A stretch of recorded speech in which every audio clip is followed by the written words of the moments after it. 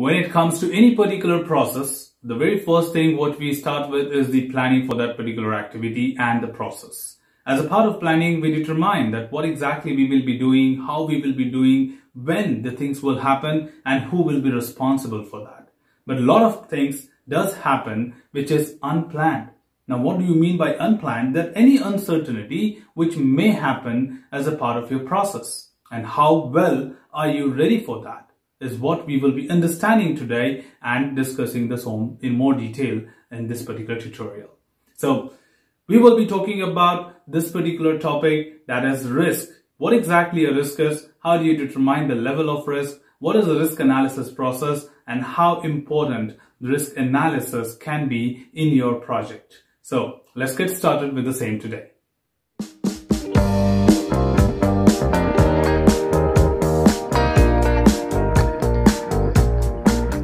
Hello friends and greetings for the day. Welcome back to another episode of Testing in Nutshell. This is Neeraj Kumar Singh and today we are talking about risk.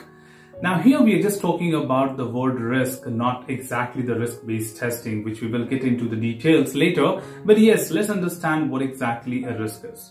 When you talk about any particular process where you have planned for a lot many activities, schedule, people, roles and responsibility, and everything is in place, but there are obviously many such other things which does happen unexpectedly or unwantedly. You never want them to happen. An unforeseen situation, any uncertainty which is not required to happen or maybe leaving an impact or could be a negative impact as well which might be with the reputation of the organization, the product failure into the market or maybe sometime not delivering the product on time to the market. So it's very important for us to understand that what exactly this risk is. So we generally define a risk as an unforeseen situation or an uncertainty which may or may not happen, right? It's not mandatory all the time that it happens. And if it happens, it leaves a, a negative impact. All right. So that is what we understand from the definition of the risk. The second thing, very important, when you identify a risk, what is that you do with it? What if like you are capable enough, you have got a very good experience with the project working and you know that these are the typical things which generally happen. So what is that you do when you identify certain risk areas?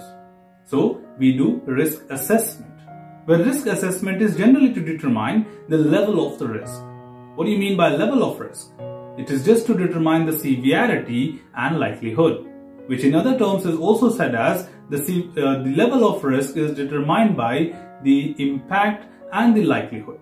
Where impact means that what exactly will be the impact of this risk if it happens, the harm to the process or to the people or to the product, anything, right? And likelihood it stands for that what is the probability of this risk to happen.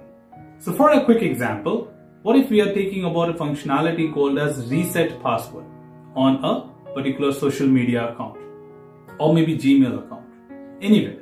So you have an option wherever you can always go to that option and uh, you can click on that button reset password and you can change your password by providing your old password and new password. What if this link is not working? So let's consider this as one of the risks. That if this risk happens, a user will not be able to change the password. Now, the impact is very high because a user will not be able to change the password which is very important functionality of a page. What if somebody knows his password and he wants to change his password after some time? So in that point is uh, impact of this particular risk will be very high. The user will not be able to change the password. But what is the likelihood of this? Very low.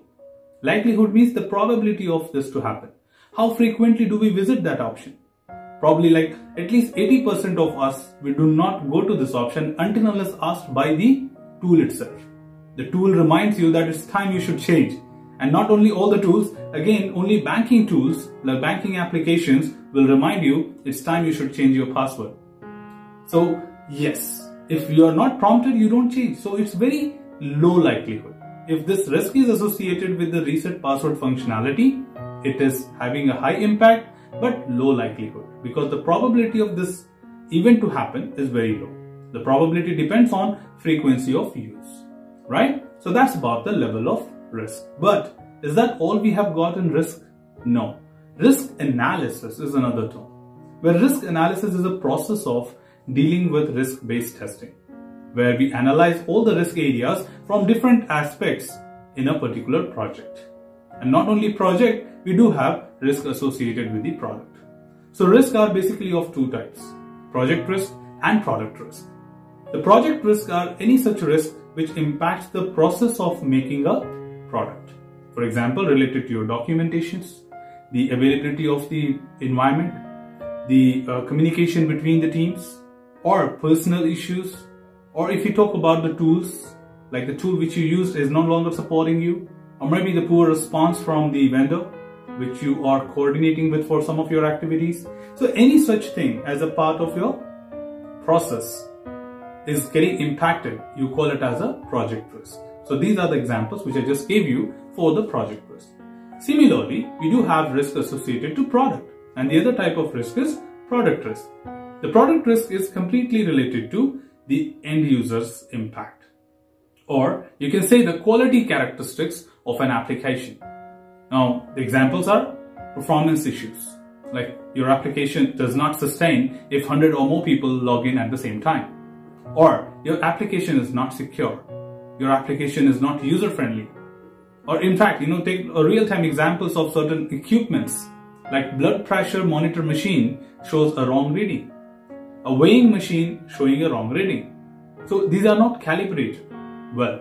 So people may reject your product into the market.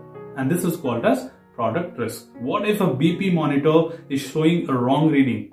You may get a hard impact, right? Maybe somebody can get a heart attack because of looking at high BP, right? So these are the things which we need to take care of and identify them and handle them as a part of test cases.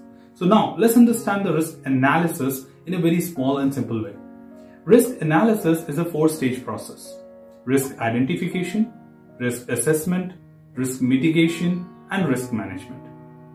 Risk identification is all about identifying the risk, which happens by brainstorming, intuitions, past experience, knowledge about the product, typical challenges which we have faced earlier.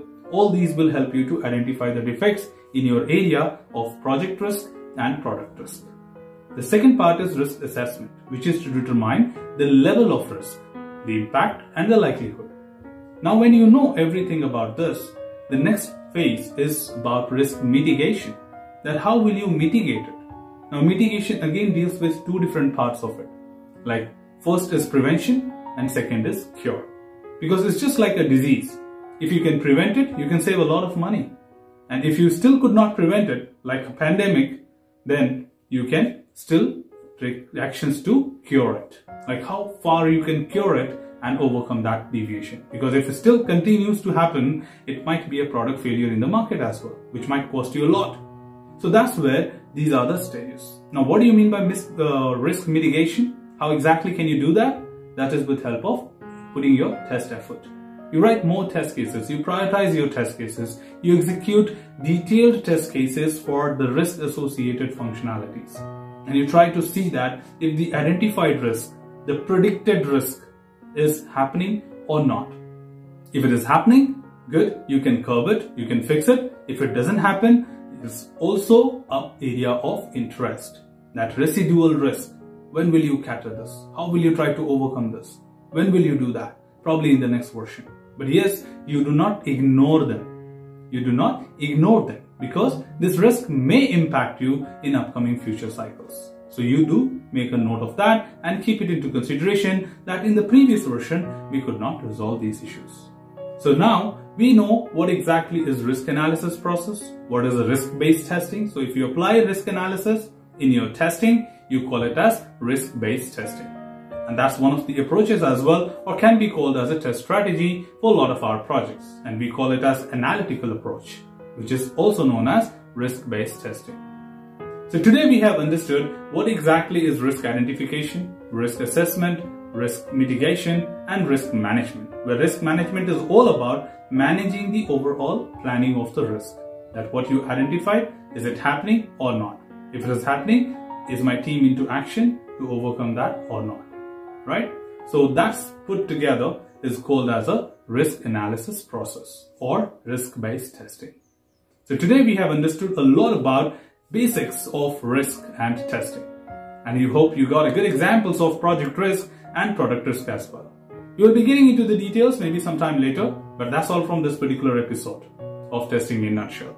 Till then, keep learning, keep exploring, keep understanding the context. If you have any questions, feel free to comment below. I'll be always there to answer your queries well.